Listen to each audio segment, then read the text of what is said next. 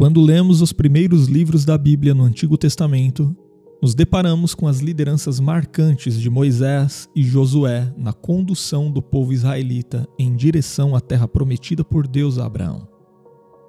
Moisés liderou os filhos de Israel para fora do Egito e Josué liderou o povo na conquista de Canaã. E todos sabem que Josué foi o sucessor de Moisés. Mas quem foi o sucessor de Josué? Muitas pessoas têm essa dúvida e é sobre isso que falaremos neste vídeo. Mas antes, eu quero te convidar a se inscrever em nosso canal e também a ativar todas as notificações, porque se inscrevendo aqui no canal, você poderá acompanhar os novos estudos bíblicos que sempre estamos postando por aqui. A primeira coisa que precisamos esclarecer é que não houve um sucessor de Josué em Israel, pelo menos não nos mesmos moldes de sua liderança e da liderança de Moisés antes dele. Josué foi escolhido por Deus para suceder Moisés na liderança do povo de Israel, já no final do período de peregrinação pelo deserto. E sua liderança à frente de Israel foi indicada de forma solene diante de todo o povo enquanto Moisés ainda estava vivo. Veja o que a Bíblia diz sobre o processo de sucessão de Moisés por Josué. E chamou Moisés a Josué, e lhe disse aos olhos de todo Israel: Esforça-te e anima-te, porque com este povo entrarás na terra que o Senhor jurou a teus pais lhes dar, e tu os farás herdá-la. O Senhor, pois, é aquele que vai adiante de ti, ele será contigo, não te deixará, nem te desamparará. Não temas, nem te espantes. Porém, esse tipo de solenidade de transição não se repetiu quando a liderança de Josué estava perto do fim. Entretanto, mesmo durante a liderança de Moisés e depois de Josué, a Bíblia registra que havia anciãos em Israel que compartilhavam de certas responsabilidades na instrução e condução do povo do Senhor. Então, quando Josué morreu aos 110 anos de idade, esse grupo de anciãos ainda existia, pois o texto bíblico informa que houve anciãos que sobreviveram após Josué. Portanto, quem serviu como sucessor de Josué em Israel naquele período imediato foi esse corpo de anciãos. E a Bíblia diz que durante os dias de Josué e também durante todos os dias dos anciãos que ainda sobreviveram depois dele, os israelitas serviram ao Senhor e contemplaram toda a grande obra que o Senhor havia feito a Israel. No entanto, a referência dos anciãos como sucessores de Josué diante de Israel não durou muito tempo. O relato bíblico conta que aquela geração morreu e outra geração se levantou em seu lugar. Mas o problema era que a nova geração não conhecia o Senhor e nem se atentava a tudo que ele havia feito aos seus antepassados. E sobre isso o texto bíblico diz: Morreu, porém, Josué, filho de Num, servo do Senhor, com a idade de cento e dez anos, e sepultaram-no no termo da sua herança, em Timinate Eres, no monte Efraim, para o norte do monte Gaás. E foi também congregada toda aquela geração a seus pais, e outra geração após ela se levantou, que não conhecia o Senhor, nem tampouco a obra que ele fizera a Israel.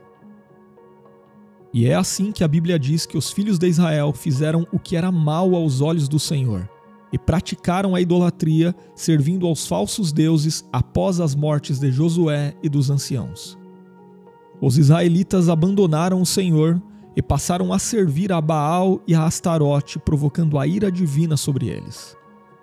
O escritor bíblico explica a situação do povo da seguinte forma: então fizeram os filhos de Israel o que era mal aos olhos do Senhor, e serviram aos Baalins. E deixaram ao Senhor Deus de seus pais, que os tirara da terra do Egito, e foram-se após outros deuses, dentre os deuses dos povos que havia ao redor deles, e adoraram a eles e provocaram o Senhor a ira. Porquanto deixaram ao Senhor e serviram a Baal e a Astarote.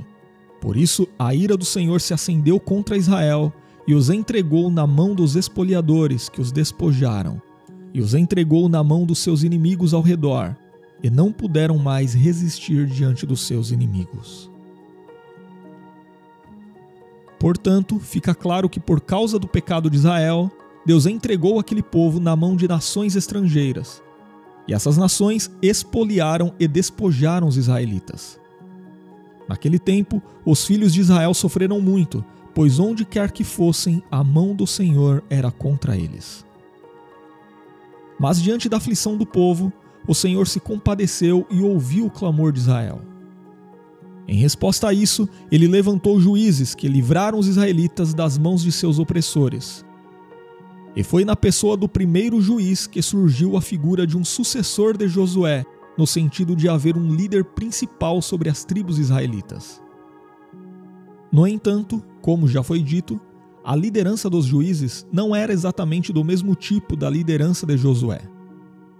Inclusive, a liderança dos juízes de Israel parece ter sido mais fragmentada.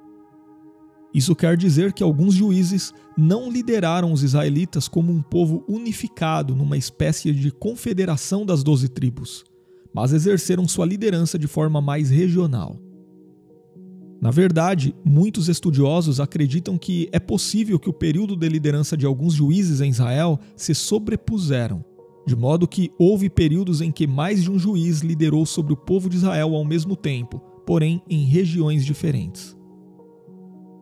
Seja como for, o primeiro juiz levantado por Deus para liderar o povo israelita foi Otiniel, um parente de Caleb, provavelmente seu irmão mais novo ou talvez seu sobrinho, porque o termo hebraico que fala do parentesco entre Caleb e Otiniel permite essas duas possibilidades.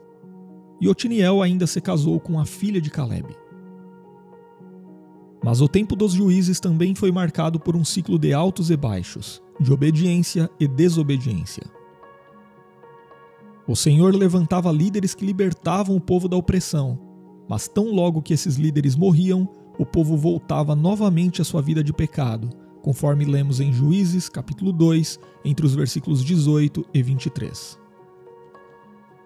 E por causa do pecado do povo, o Senhor resolveu não tirar do território prometido aos filhos de Israel as nações estrangeiras que Josué ainda não tinha conquistado quando morreu. E essas nações serviram como ferramentas através das quais Deus provou a Israel, ou seja, esses povos estrangeiros foram instrumentos de juízo na mão de Deus contra os israelitas. E se você gostou de saber como ocorreu a sucessão de Josué na Bíblia, deixe o seu comentário, se inscreva em nosso canal e compartilhe este vídeo com mais alguém.